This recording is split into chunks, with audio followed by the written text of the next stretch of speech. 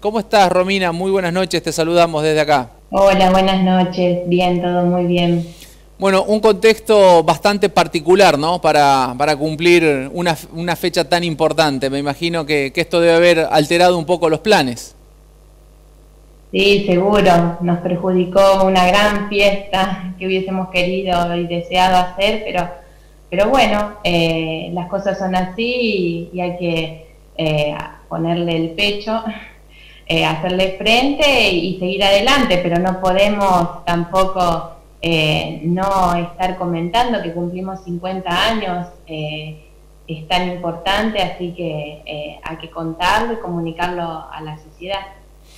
Contanos un poco acerca, del nacimiento de IDESA allá por octubre del año de 1970. Seguramente fue una necesidad de los padres, ¿no? De contar con el colegio secundario ahí en el pueblo.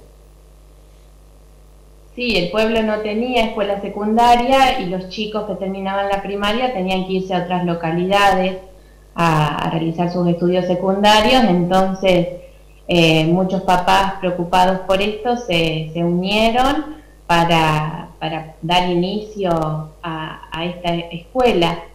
Eh, fueron muchas reuniones en 1970 que después para que después en 1971, en marzo, se dé inicio a la, a la primer clase, con 18 chicos. Mira vos, ha, pasado el tiempo, hoy en día tienen formación terciaria incluso, ¿no? De hace muy poquito, desde 2019, recuerdo en la sociedad italiana cuando estuvimos ahí, cuando se inauguraba esta opción, que no es solo para la gente de Ataliba, sino hay muchos chicos de la región que están yendo. Sí, eh, se firmó un convenio eh, en conjunto con la sociedad eh, con, la sociedad italiana acá de, Ataliba, la comuna también eh, está dando su apoyo y la Universidad Católica de Santa Fe para esta tecnicatura universitaria que bueno hoy también se está dictando a distancia como, como se hace el secundario y la primaria bueno en este año tan particular. ¿Va a haber algún tipo de, celebración más allá de la pandemia, aunque sea simbólica, algo que ustedes vayan a transmitir o hacer algo en, las redes sociales, como están haciendo muchas instituciones? Porque digo, si, no nos podemos reunir en un lugar para celebrar, pero tampoco hay que dejarlo pasar de largo esto.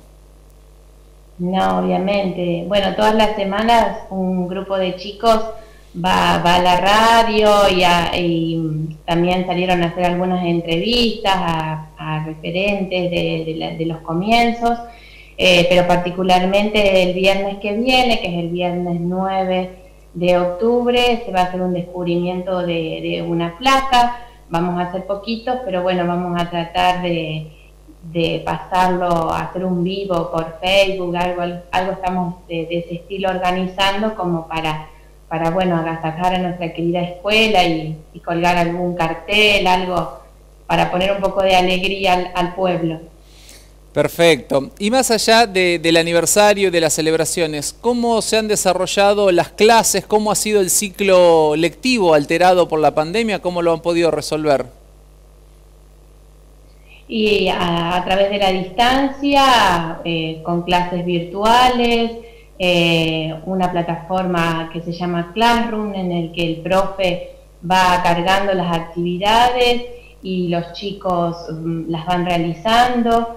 Eh, por WhatsApp, el WhatsApp se ha transformado en una herramienta fundamental para tener una conexión más directa con ellos y bueno, eh, estas reuniones tipo Zoom o que, que también son fundamentales para que los profes puedan puedan tratar de transmitirles los conocimientos a los chicos. No, no fue nada fácil porque en un primer comienzo esto era por 15 días y, hoy ya son un montón de meses eh, que no llevo la cuenta porque si no, eh, pero bueno, eh, es realmente valorable el trabajo que están haciendo los docentes y el esfuerzo que le están poniendo porque es impresionante el cambio que tuvieron que hacer, digitalizar todas sus clases, tratar de ayornarse a la tecnología eh, en nuestros pueblos. Eh, el problema también es la conectividad. entonces hay muchos chicos que no, que no tienen esa posibilidad de estar conectados, eh, no, tener una computadora, tienen el teléfono, son muchos en la casa, eh, o sea, hay, hay un montón de realidades, pero, pero bueno, se está poniendo todo el esfuerzo para que los conocimientos traten de llegar a, la casa y, y a los alumnos, a los chicos, a los estudiantes, chicos y chicas. Perfecto. Romina, vuelvo un poquito sobre la historia de IDESA al año 1991 cuando se iniciaba el proceso productivo, porque además de, educar, ustedes también tienen una producción agropecuaria. Claro, eh, bueno, IDESA tiene la parte formal, que el, alumno sale con el título de técnico agropecuario y después hay un montón de actividades productivas que se desarrollan para que el alumno no solamente adquiera conocimiento, sino también sepa saber hacer, eh, sepa eh, trabajar en esas producciones. Y es por eso que en el año 91 se, alquila campo y se inicia el proyecto de armar un tambo, que, bueno, que fue creciendo también con, el aporte, en un comienzo eh, papás dieron algunas vacas, y, una infraestructura muy precaria, pero bueno, con, el esfuerzo de un montón de gente y con todo el personal de, la escuela y de los, de los directores, con María Alejandra, eh, que hace poquito se jubiló, también eh, pudo, pudo crecer ese tambo y, ser lo que hoy es, eh, es, un referente de la región, el, el tambo de la escuela. Así que también orgullosos por, eso. Romina, eh, para ir cerrando, me gustaría que, imagines que estás en ese acto el próximo viernes. Eh, ¿Cuáles serían tus palabras a la comunidad educativa, a, los antecesores que hicieron grande a IDESA, mirando un poquito también al futuro en este contexto? ¿Qué le dirías a los chicos y a la comunidad en sí? y bueno, que, que IDESA es un orgullo para, el pueblo, para la región, que, que, IDESA nació como una idea de un grupo de papás y que nos eh, demuestra que, puede trascender en el pueblo, en la región y que si una comunidad se une eh, con esfuerzo, con compromiso y con un fin común, se puede lograr grandes cosas y, bueno, y, llegar a cumplir eh, tantos años como, como lo está cumpliendo hoy, 50 años, que, no es poco y que, bueno, yo realmente orgullosa de, haber sido alumna, docente y, hoy ocupar este cargo, así que eh, más que orgullosa y satisfecha de, nuestra escuela, así que hay que seguir eh, haciéndola crecer.